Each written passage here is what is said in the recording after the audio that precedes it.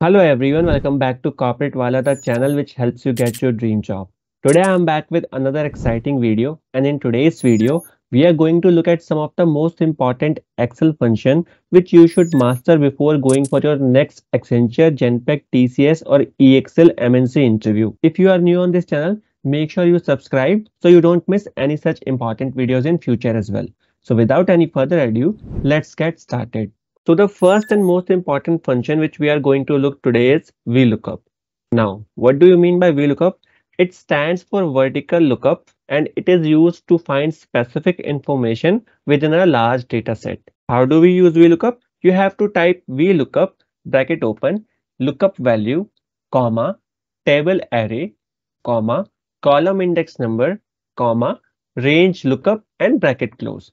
Now here how it works your lookup value is going to be your value which you want to search for. Your table array is going to be the range from where you want to search for the lookup value. The column index number refers to the column number in the table array from which the result should be returned and the range of lookup is an optional field where you have to type true or 1 for approximate match or 0 or false for exact match. Let's deep dive into this a furthermore. So your formula will look like something like this.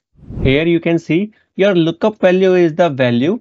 What do you want to look for?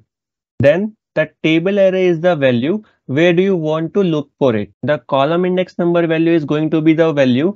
If you find it, how many columns to the right do you want to get the value from? So there is one limitation of VLOOKUP formula. It can only find the value from the right side of the lookup value. If you have any value which is in the left side, it won't be able to find it. Then you have the range lookup, which is do you want an exact match or approximate match? Okay, so this was the breakdown of the formula.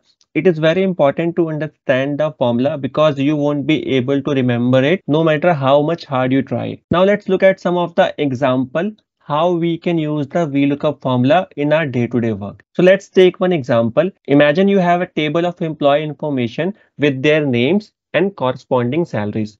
You want to find out the salary of an employee named Chandler. Using VLOOKUP, you can do it very easily. So what you have to do is type VLOOKUP, press tab. Now your brackets are open. Next thing it wants us to select is lookup value. So what do we want to look for? Chandler's salary. So my lookup value is Chandler. I'll just now click on the comma now it is asking for the table array. So what was my table array? The value from where we want to get the data. So my table array is going to be this table from where I want to get the data. Then I'll again press the comma. Now column index number. So column index number was my column from where I want to get the data. So here this is my name section and this is my salary section. So where is my salary? In the column number 1, 2. So I'll type the column number 2 because I want to get to know the salary of Chandler. Then I'll again press the comma. Now it is asking me true for approximate match and false for exact match. Now what is approximate match? You don't want the exact salary number, but you want an approximate number. But if you select false, you will get the exact number which is mentioned in the table. So I want the exact salary of Chandler. So what I'll do is I'll type false or I can type zero. So I'll type zero and then close the bracket and then hit enter.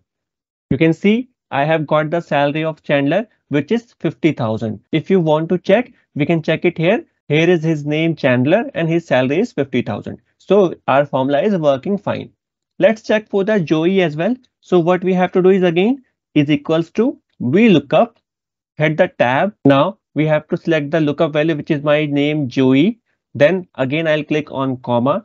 The table array is the value from where we want to get the data. I have selected it.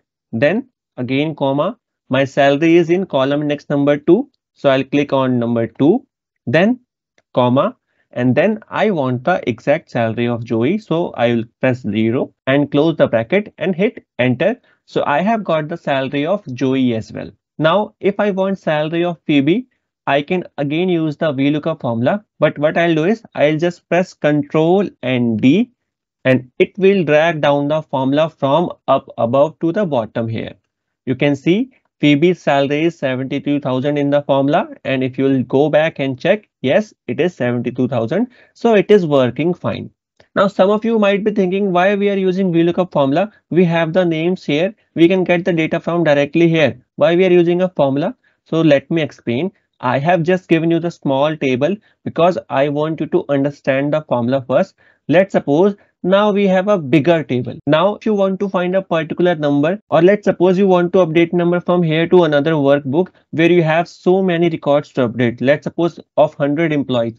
What you will do? You will find for each of them one by one? No. So in that case, what we'll do is we'll use the VLOOKUP formula. Let's suppose if I need to find the salary of Rachel, what I'll do is is equals to VLOOKUP bracket open. Now lookup value is my Rachel. Then I'll click the comma table array is my this table. I'll select it. Then again comma. My salary is again in column number 2. I'll press 2 here. Then comma and the range of lookup is I want exact match. So I'll click 0 and close the bracket. It will give me the Rachel's salary which is 68,000. We can see it here as well.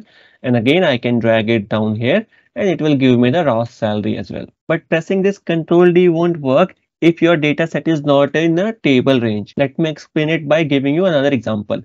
Currently, it is a table form, but let's suppose we have data in not a table form. Okay. Now, if I'll use the VLOOKUP formula again for Rachel from this data set, and then I press 2, press 0, bracket close, enter. So it is giving me Rachel's salary. I'll press Control D.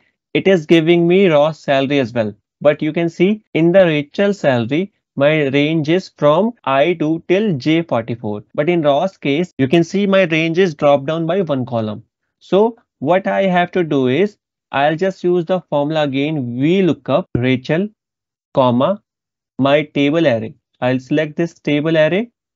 Then I won't press comma here. What I'll do is I'll press F4.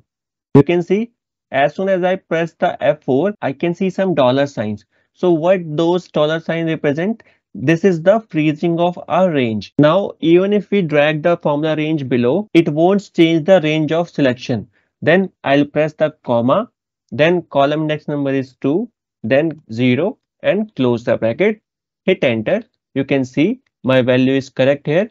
Okay, my range is selecting entire data. If I drag it down, it is again selecting my whole data. If I drag down even more, it will select the exact same range. So if I want to get to know the salary of Monica, I can just type her name here and you can see I'm getting her salary. If there is a table, there won't be any issue. It will auto freeze the range, but the data set from where you are getting the value is not a table range. You have to press F4 for freezing the data range. Okay, so I hope this formula is clear to you.